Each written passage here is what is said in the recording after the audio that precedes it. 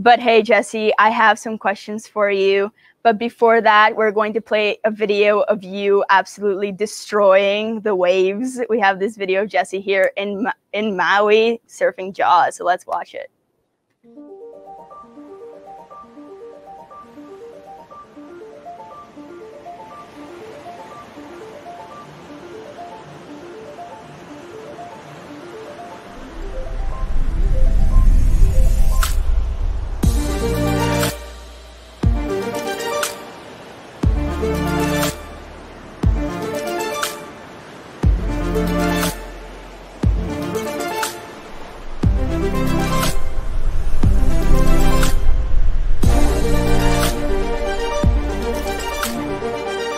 Bye.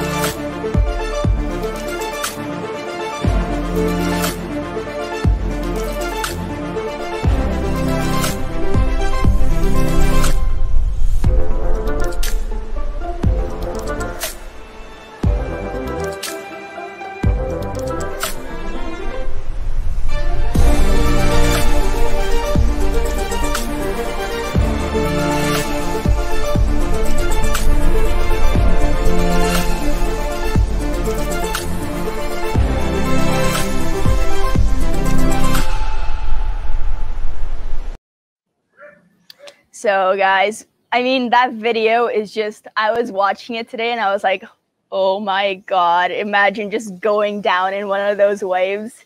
It's insane. So, like, Jess, can you, like, give us a description of what the wave jaws actually is? Because I don't think the video does it justice. Like, so what is, like, how is it? How, what's the feeling? What is your feeling when you're there? Like, I mean, it's it's a pretty magical place where you know most waves in the world or most beaches in the world, the the way that the ocean floor sets them up is they tend to top out at a certain point. So you know, at a lot of beaches here, after like a ten or twenty foot wave, the waves just don't really get any bigger. They they kind of get all messy, and it makes it impossible to really ride.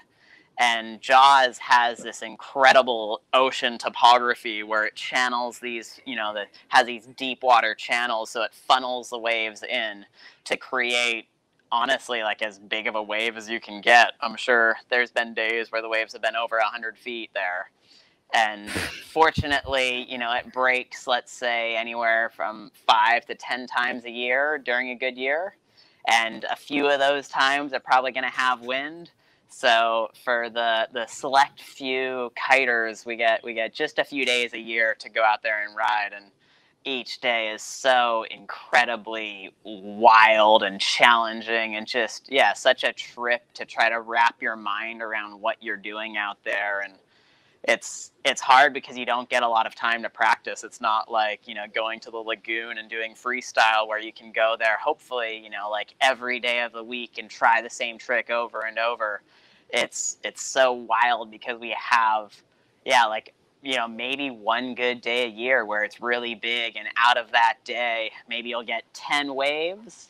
And out of those 10 waves maybe the biggest wave of the year is going to be your first wave. So it's it's so challenging because you don't really get a warm up on those days it's it's right into it and yeah you kind of just gotta gotta be mentally and physically prepared and be ready to take a beating yeah, I I I can imagine that.